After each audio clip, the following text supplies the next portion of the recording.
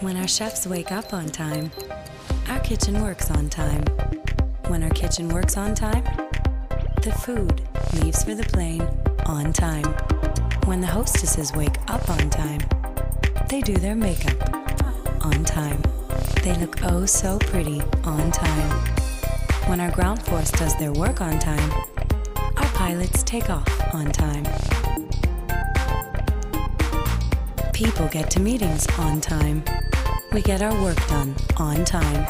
And when we get our work done on time, we become the world's most powerful economy on time. On time is a wonderful thing.